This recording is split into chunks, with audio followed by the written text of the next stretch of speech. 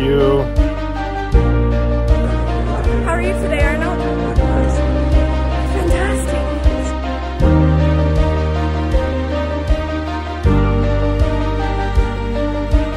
And to bring that first place award. No surprise to me, folks. Your winner, Becky Overbeck.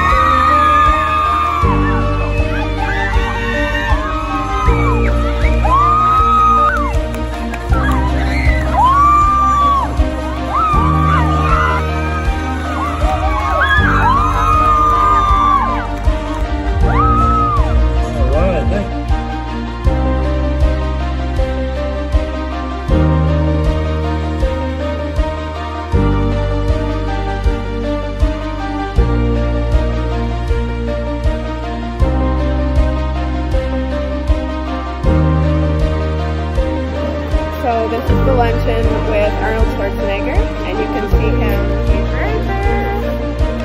There's me. Here's Arnold.